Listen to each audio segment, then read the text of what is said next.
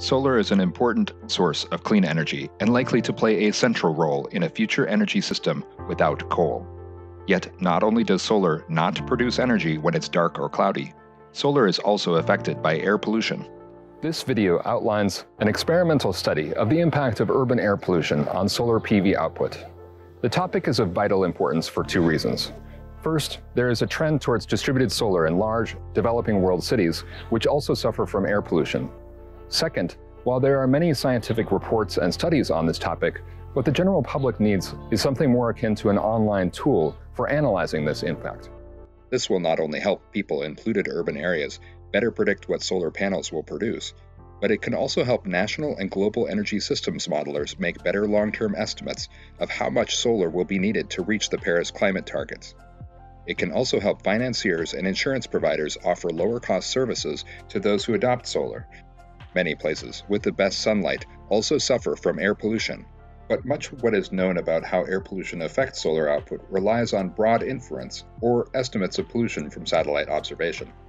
Over the last decade, solar PV has become a major world energy source.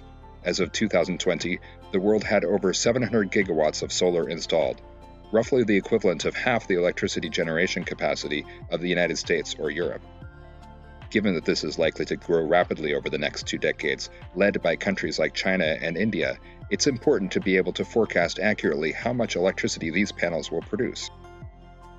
In the 1990s and early 2000s, most solar PV was installed in Europe and the US, but in recent years, solar has shifted to the developing world, including especially China, but also to places like the Middle East, India, and Mexico. Many parts of these regions suffer from higher levels of air pollution.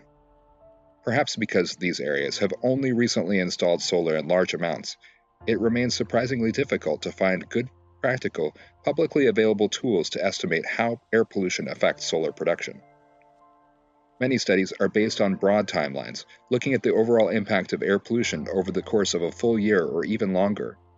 This 2019 paper by Sweerts and colleagues looked at long term reductions in sunlight in China by examining ground based monitoring data going back to 1960, when presumably China had little urban air pollution. This type of study can help understand the total effect of air pollution on PV output over a year, but it doesn't produce estimates for PV production over shorter time frames or specific sites, or use inputs available to the public, such as ambient PM2.5. Other studies have produced results more directly focused on the impact of ambient air pollution on short term output, but many of these rely extensively on modeling, this paper, by Lee and colleagues, studied the worldwide impact of particulates on PV output using a variety of sophisticated quantitative models, but the inputs are not the type of data available to the public. Some researchers have used direct ground based experiments with solar PV located in polluted regions. This paper, by Duke professor Mike Bergin, studied the effects of dust soiling and ambient air pollution on PV output in Delhi, India, and then used several models to estimate solar output reductions due to pollution around the world. However, the model inputs are again different from those available to the public, for example, the total mass of particulate matter. In recent years, there have been more experimental studies, including in Singapore, India, and China. Here's one example by Peters and colleagues, who examined the impact of India haze events on solar output. A key highlight of the Peters study is how it relates solar output changes to specific ranges of ambient PM2.5, albeit focused on a narrow period of a single haze episode. Meanwhile, there are some useful calculation tools online that can enable solar customers to estimate their rooftop solar potential. Some of these, such as Google's Sunroof, include a variety of useful, practical factors, but air quality is not included as a variable. In the developing world, uncertainty about solar energy production is a major barrier to financing. Unlike the coal, oil, and gas industries, the solar industry relies heavily on smaller scale projects including individual commercial rooftops and homes. Especially in poorer areas, these projects will never have the resources for sophisticated forecasting, modeling, or on site measurement. Financial due diligence will have to rely on more basic tools to estimate the cost and output over time. That's where this experiment comes in. GIZ worked with experts at the Solar Energy Research Institute of Singapore, the China Academy of Sciences Institute of Atmospheric Physics in Beijing, and Envision Digital to devise an experiment to test the performance of solar panels over the course of a whole year, and that includes during a variety of weather, sunlight, and air quality conditions. we placed a solar PV test panel and supporting equipment next to a 300 meter tall weather and pollution measuring tower in Beijing, and we collected solar data for every minute of the day for two years, along with weather data from various sources. We also compared that with other sites where data were available to our research partner, Envision Digital. This hourglass shaped image is actually a graph of the data produced by the experiment. Each row of pixels represents a single day, and each column a single minute. The hourglass shape comes from the long days of summer and the short days of winter. You can see the shadow of the pollution measurement tower, which passes in front of the sun each day at a slightly different time and angle. In Beijing, the sun never actually shines directly overhead, so the tower bends back on itself as the sun's elevation declines in the fall.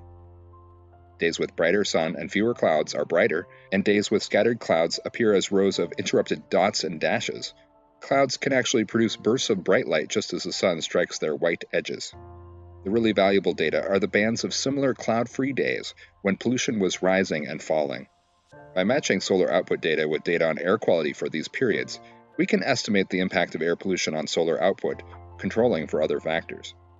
What we found is that there is indeed a strong relationship, a 14% reduction for the first 100 micrograms per cubic meter, and a smaller additional 12% reduction for concentrations up to 200, and then an additional 10% drop for the next 100 up to 300 micrograms per meter cubed.